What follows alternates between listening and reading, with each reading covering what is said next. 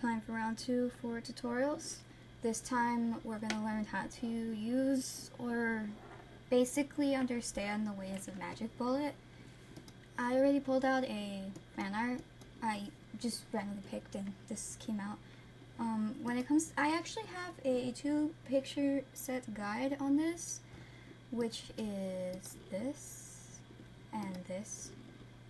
I'll leave a, um, a download for them in the description later because they're pretty useful and I did make typos in this and I'm kind of upset. so if you want to go by the instructions given here, um, crap, I need to, um, okay, there we go. Um, step one, when you open Magic Bullet, it should look something like this. Um, if regards to how to get Magic Bullets, um, I installed, I got mine off the Vidder Tips channel, or should I say Vidder Tips Tumblr blog. Um, they have download resources for mm, a lot of things, let's just say. And one of them was Magic Bullet, and that's where I pretty much got mine. You should be able to install yours the same way too, as long as you follow the instructions given.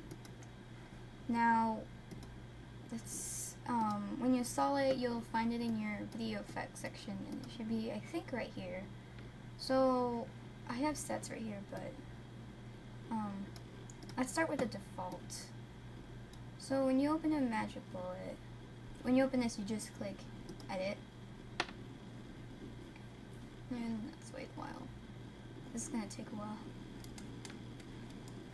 My computer is slow right now because it's like encoding the other tutorial, like as you speak. Just be patient.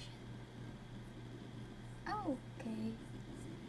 Alright, it's starting to show up. Okay, when you open up Magic Bullet, it'll look something like this. You have, um, upon first seeing it, you're kind of just like, what the hell is this? This looks like a completely different program alone, but it's not extremely difficult. So if you want to go over tools, um, these are kind of like, uh, no Magic Bullet expert, but these seem to be like coloring things. And these are kind of like secondary coloring, like they give you different kinds of glows, sorta. The lens are my favorite. Um, this gives you a gradient, this gives you that soft blur things at the edges. This gives you your um, color shifts, so if you want like the RBG or GB shifts or like those cyan whatever shifts, you get them from there. So for example, if you put, by the way, when you do these, you put them where, so if it says lens here, you put it in lens. So if you put this here, you get a really cool gradient. You could just do zooming in and out. And then let's say you want to blur the edges too. You can add more than one thing, by the way. You could do this too, and it's like really rad. And I forget if you can even keyframe this, but if you can, it's it's actually pretty cool. I never really tested it for keyframing. Um, Chromac ab, ab, aberration, uh, whatever it's spelled, gives you your color shifts. So if you just drag this, there's your color shifts. Like I did it too much. I, I went too much, too much. Um, this is actually how I do my RBG shifts in my videos because one of the coloring presets I have has the RBG shift in it and that's why I have it on my videos all the time. So let's get rid of these. Banish, be gone. What's another one? Uh, the camera ones. These are other coloring ones. Uh, these two. I usually use the lens more. So let's say you don't really know how to work these things, but you kind of interested in doing really cool coloring even though you don't know how to work these. That is not a problem.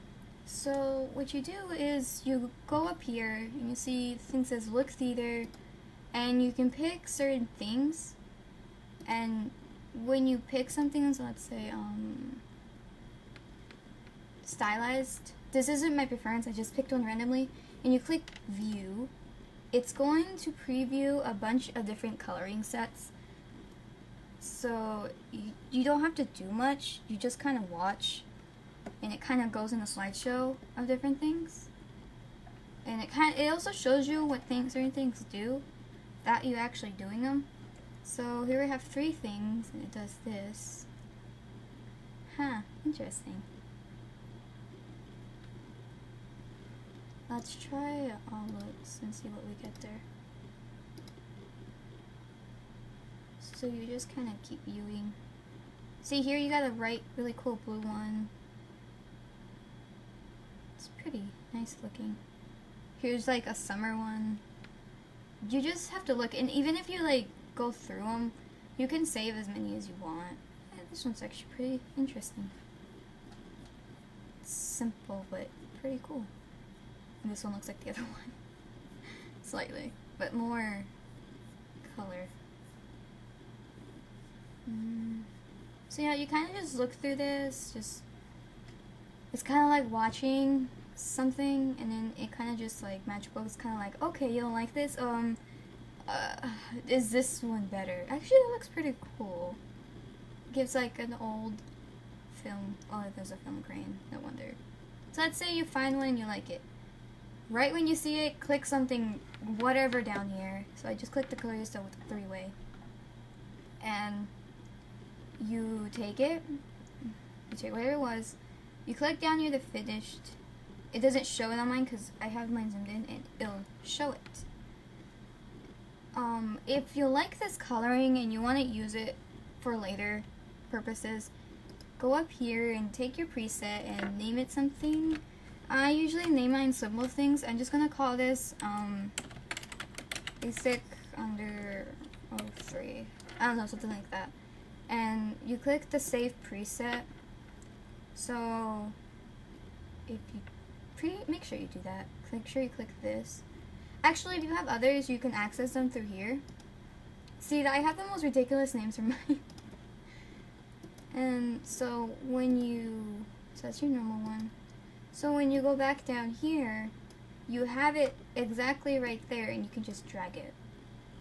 And it's always going to be there um, another tip I would advise is if you're using Magic Bullet and your Vegas or After Effects, because I know it's available in After Effects, if it begins to lag, I'm not sure about After Effects, but in Sony Vegas, there's this, um, I can't show it here, but, um, down, down in your track, there's a tab that says video, like right here, put down here says video, and there's this thing that looks like, um, it says bypass specs and envelopes.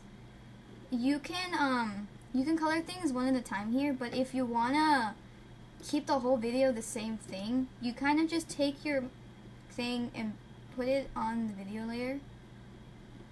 I can't do that right now because it's not letting me, but that's usually what I go by. So if you click bypass specs and envelopes, or should I, wait, what is it? No, okay, never mind. It's the video output effects. You can do this. I can't, it's not very good advice because, and it's there, and it's on everything.